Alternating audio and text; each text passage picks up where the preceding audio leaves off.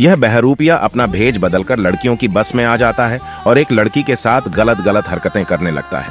उस लड़की को भी इस पर शक हो रहा था, इसलिए वह लड़की उठकर पीछे चली जाती है।